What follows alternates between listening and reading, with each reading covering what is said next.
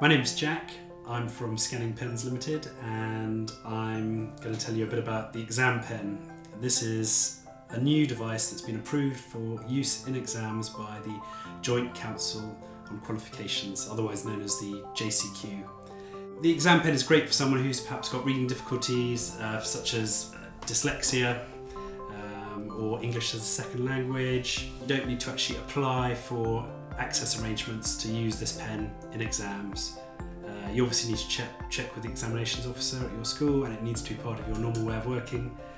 Uh, it's, it's based on the Reading Pen 2 which has been out about 10 years. The Reading Pen 2, the only differences are uh, threefold. Uh, this one is bright orange so you can so the uh, invigilator can see instantly that it's the approved one for use in exams.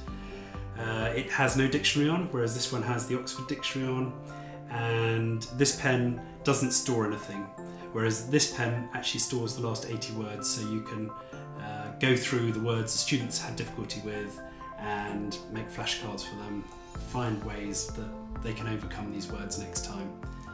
Yeah, so if you wanted to equip your school with, um, I suppose, the best solution, the students would have the reading pen for use during term time because this allows them to access the dictionary and see the words. It's the Oxford uh, Concise English Dictionary on there. And then in the exams um, setting, they have the exam pen. Okay, so this is the um, exam pen. This is what you get when you order one.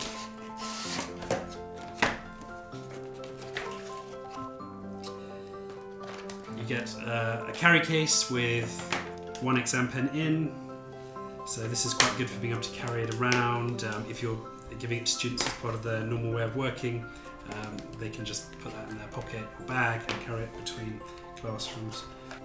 You also get a, a plastic trainer and you get two batteries, some headphones, and an instruction manual.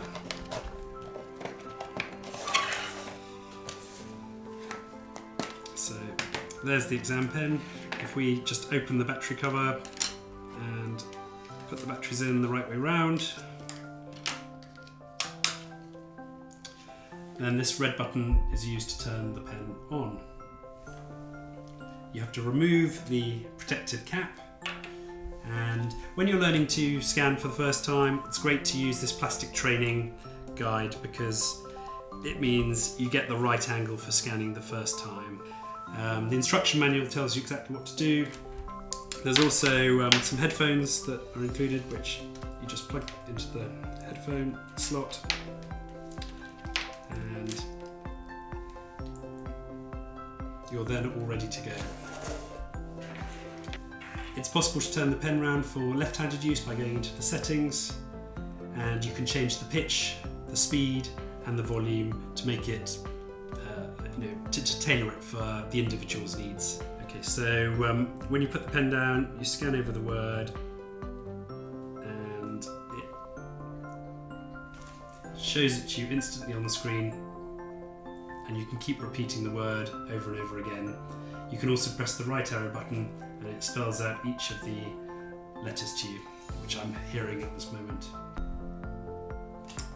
So um, yeah, if you want to find out more information, view case studies, um, we've got some, some video case studies even now, you can go to our website, which is www.exampen.com, and you'll get all the further information you need there.